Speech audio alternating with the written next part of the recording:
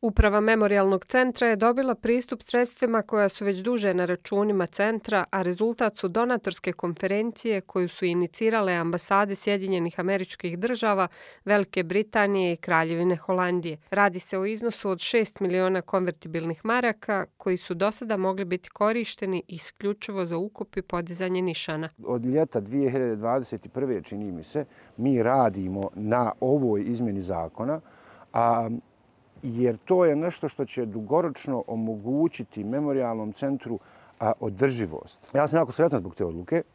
Ovaj, sretan sam zbog toga što na izvestan način to znači vraćanje memorialnog centra nama. To je novac koji ova institucija trebala davno da ima na raspolaganju i koji će biti korišten, kao što rekao, isključivo u strateške svrhe, u strateške stvari i strateških, strateških razloga za razvoj, razvoj ove institucije. Puno se pravno može eh, raditi po osnovu te odluke to će za memorialni centar e, zaista značiti puno s obzirom da smo u jednoj ekspanziji dakle, radova, obnove, odnosno rekonstrukcije infrastrukture, konzervacije, e, razni drugi muzejski sadržaje i tako dalje.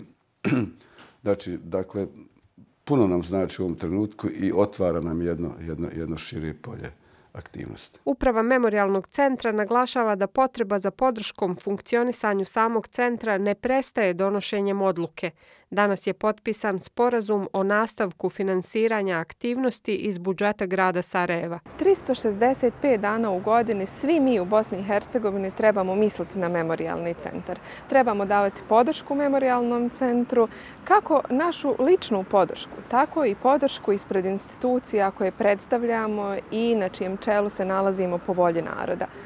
Pozdravljam odluku visokog predstavnika gospodina Šmita koji je e, svojim postupkom dao mogućnost da memorialni centar dobije financijska sredstva koja će doista olakšati funkcionisanje i dosta olakšati nove projekte koje Memorialni centar planira pokrenuti. Zakon o izmjenama i dopunama zakona o Memorialnom centru Srebrenica Potočari stupa na snagu dan nakon objavljivanja u službenom glasniku Bosne i Hercegovine na privremenoj osnovi sve do ga parlamentarna skupština ne usvoji u istom obliku, bez izmjena i dopuna i bez dodatnih uvjeta.